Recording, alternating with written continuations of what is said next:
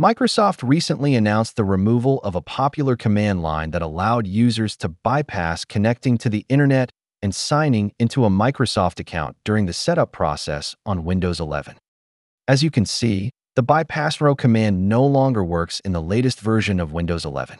However, better methods to bypass these requirements have already been discovered, still using the command prompt. Press Shift plus F10 or Fn plus Shift plus F10 if you're using a laptop to open the Windows command prompt. If needed, press Alt plus Tab to switch to the command prompt window. Typing this command into the command prompt during the Windows 11 setup experience will enable you to create a local account directly, without needing to disconnect from the internet first. The command will bring up an older Windows 10 style interface that allows you to specify a username and password for the local account. Clicking Next will take you straight to preparing the desktop. This streamlined method is much faster than the old bypass process, which required the PC to restart and slowly progress through the Windows 11 setup experience before reaching the desktop.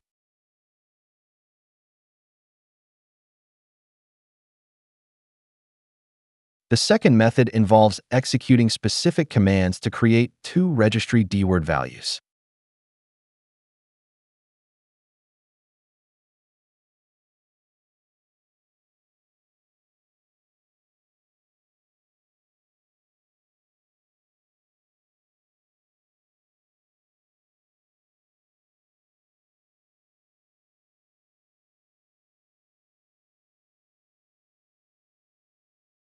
You can open the registry editor to verify that the values have been successfully created.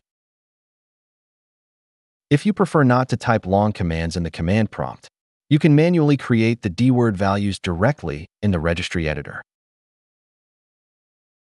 Restart your system, and you'll be able to set up your computer without an active internet connection or a Microsoft account.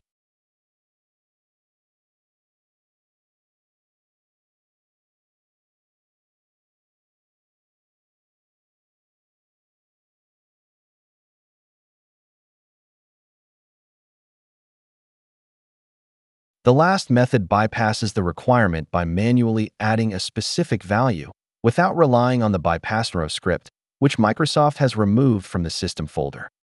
Simply execute this command, then restart your system.